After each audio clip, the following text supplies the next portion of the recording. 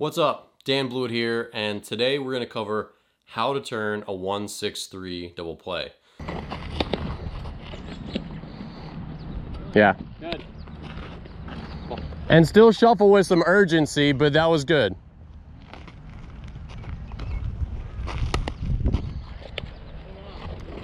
Yeah. Well done, sir. This is something that I actually screwed up a little bit early in college before I kind of learned the ropes.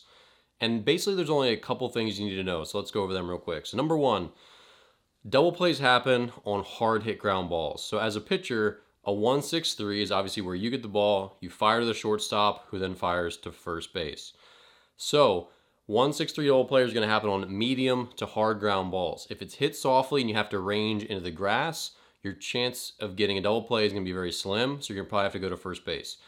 But if you get a ball on the dirt, so on the mound, whether you have to charge a little bit or right at you, you don't have to move after you make your pitch, then you've got a chance to turn a 163.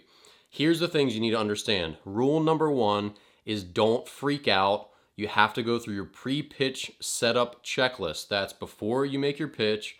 When you're off the mound, you say, okay, ball hit back to me. What do I do? Ball hit into the left center gap. Where do I go? Bunt, uh, you know, bunt to the left side. Do I cover it? Does third baseman cover it? Etc. You go through your pre-pitch checklist. So number one, make sure you know before the pitch what you're gonna do. Number two, and this is the biggest teaching point in this video, when you get a hard hit comebacker, that means it's in your glove without you moving pretty quick. You're gonna do the following. You're gonna get the ball at your center, you're gonna take one shuffle and then fire a laser straight over the bag at second. The shuffle is really important, and this is something that's often overlooked and it's often not taught. The reason we have to have a shuffle on a hard hit comebacker to the pitcher is the following. When you get that ball, you release it, boom, it's right back in your glove. The shortstop hasn't even moved yet. By the time it hits your glove, he's just now realizing that he has to cover second base. So if you just turn around and fire, no one's gonna be there, right? So that's why when you get a hard hit comebacker, your first thing is, okay, I'm going to second, set yourself, shuffle, boom, then you throw it.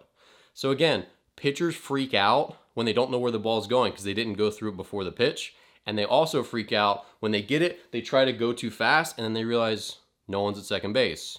Again, hard at comebacker, bop, I've got it, I turn, I shuffle, I make a hard throw over second base, he'll be there by that time.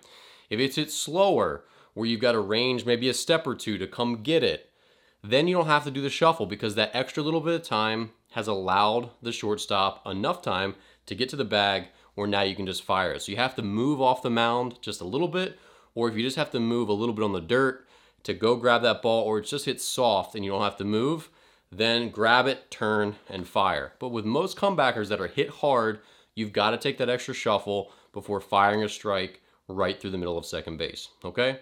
That's pretty much it. I hope you enjoyed this video. If you like this tutorial, definitely hit the like button, subscribe, check out my books, my online courses, and some of my suggested baseball books. Links are all in the description below. Thanks, and I'll see you in the next video.